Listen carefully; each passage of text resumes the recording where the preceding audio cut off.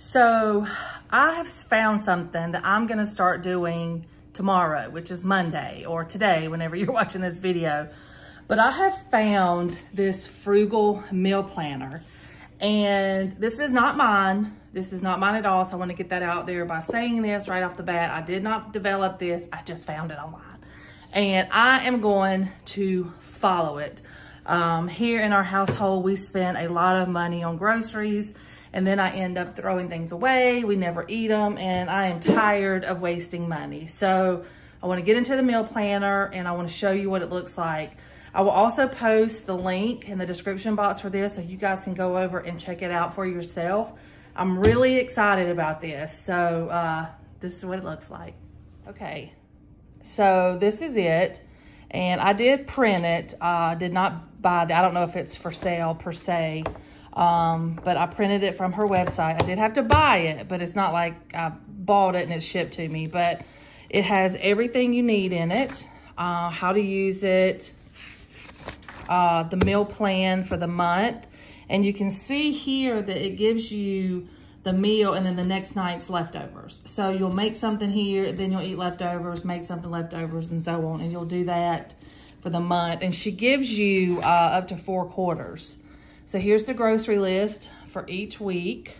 So it's, I mean, I don't know how you can get any better than this.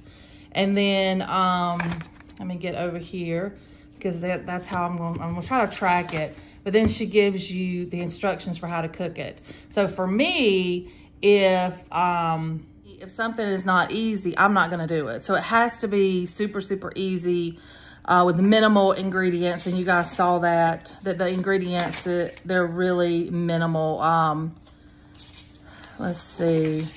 The ingredients for what I'm gonna be making tomorrow is, uh, it's pork tacos and it's a pork tenderloin that you're gonna cook in your slow cooker and then you're gonna make an apple to go on top of it. I've never had this before. I don't know what it's gonna taste like. Hope it's good. But anyway, I'm really excited to do this because I wanna save money. I'm gonna head to the grocery store, buy what I need, and let y'all know how much it costs. So stay tuned. Okay, so this is all the items that I'm gonna need for this week's meal plan. So it doesn't look like much. This is all dinners. So the telltale will be at the checkout. Okay, so I just finished my first grocery trip and everybody in the world was at this Walmart today. It's crazy. So note to self, no more grocery shopping on Sunday. Uh, I was able to get everything on the list. However, the pork tenderloin, it called for just one pound and I bought two because that's all I had. So I'll just cut it up and save it, put it in the freezer. But I spent, uh, there's my receipt, $67. So I was able to buy food. Now that was just dinner. That doesn't include anything else. So that's gonna be the challenge is to see what it costs to buy breakfast and lunch. So I already have a lot of stuff at home right now, but um, we'll see how it goes. Wish me luck.